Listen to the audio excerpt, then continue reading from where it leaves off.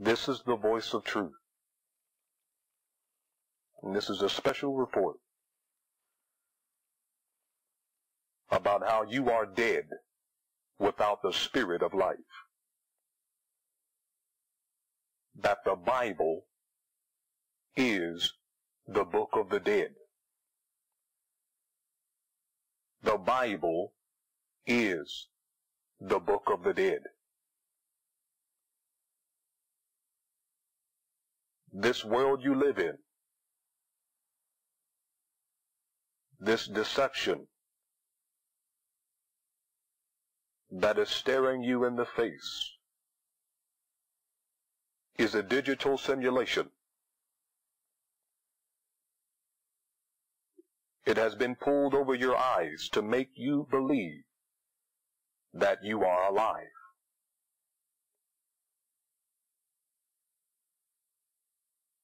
There is motion and activity set before you to make you believe that the world that you are in is living.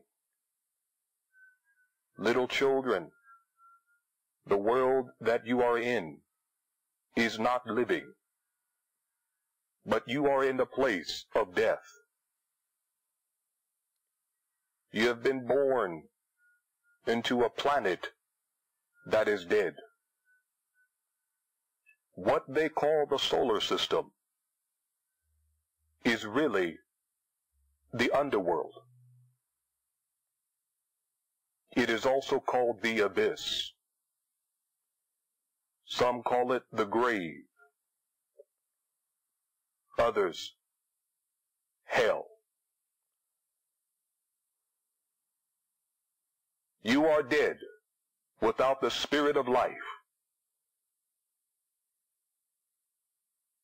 And this device called the Bible controls those who are of the dead. This book is not for the saint. It is not for the Christian. But this book of Constantine and James is for the dead.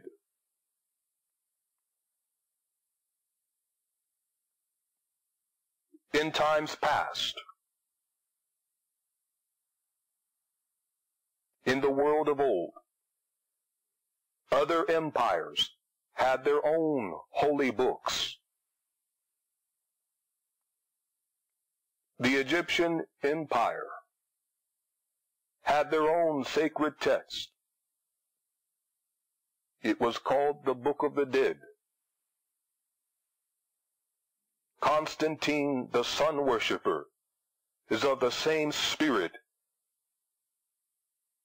as the Egyptian empire of old.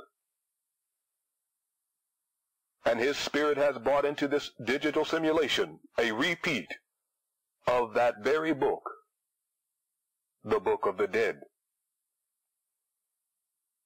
This particular text is a scroll of many scrolls. The Bible is often referred to as the book of many books. The Book of the Dead was an instruction manual to serve as a guide for the dead in the afterlife. So it is with the Bible today. Those who are the spirits of the dead use this book as their guide through the underworld. Little children, the Bible is the book of the dead. If you are of the living, then you will close the book and put it out of your mind. The Bible is for the dead. The spirit of life is for the living. In the days of the ancient Egyptian empire, they would place this book in the tombs of the dead. It consisted of magical enchantments and magical spells and formulas. It was designed to help the spirits of the dead to overcome challenges in the afterlife. So it is with the Bible today that was compiled by those who worship death, Constantine the sun worshipper, and James the Protestant and murderer, King of England. They were both worshippers of death. They were both used by your enemy, the dragon and death, to compile this book, the book of the dead, in order to control the minds of the dead. Little children, if you want to know how to overcome this book of the dead, then you will hear my voice.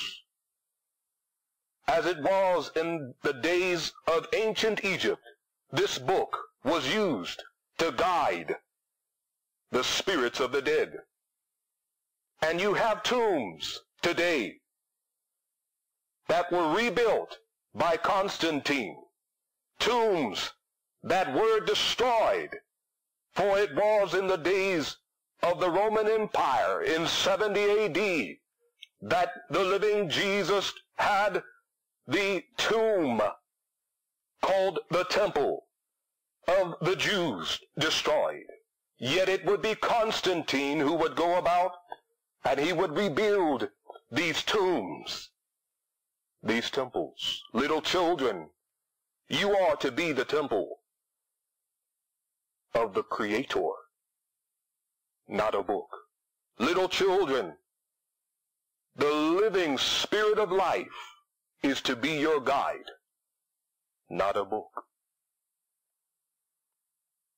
In the days of ancient Israel, they had their hymns. They sang their psalms. And so it was in Egypt's time. They had their hymns. They had a hymn to their god Osiris.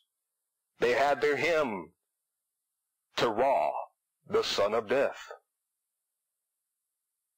You have members of the Church of the Dead today who recite these spells they call verses out of their book and they use it to give them imaginary strength and imaginary hope.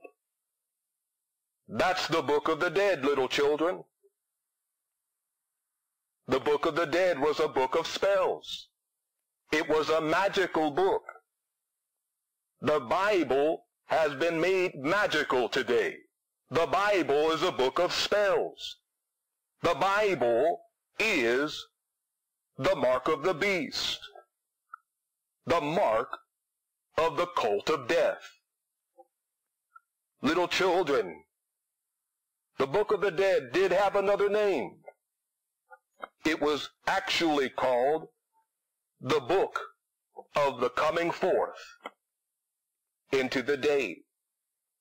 The book of the coming forth into the day. Little children, when you come out of the womb of your mother, you're not entering into life, but you're entering into death. And the ancient Egyptians knew this. This was and is the underworld, little children, whether you're on this side of time or the other. And if you want to be made alive. You have to put away the book of the dead. The real Jesus is not in the Bible, little children. But if you're going to meet the real Jesus, you have to search for him in the Spirit. You have to search for him in your heart. He's not in sacred text, but he, he's located in the sacred spirit, the spirit of life. Little children, the Bible is the book of the dead. And these children of the dead, those who call themselves Christians, who are really dead. They rely on it because they have no identity of their own. Remember, the dead cannot speak, the dead cannot hear, and the dead cannot see, and the dead cannot feel. So they take the Bible, the book of the dead, and they claim every Saturday and Sunday that they're Moses and they're traveling through the Red Sea of life. They claim they're like Job when they're having hardships. They claim they're like David when they're facing giants. They'll take a time in their life to call themselves Paul. They'll say that they've been shipwrecked and they've made it to an island. Little children, they are of the dead.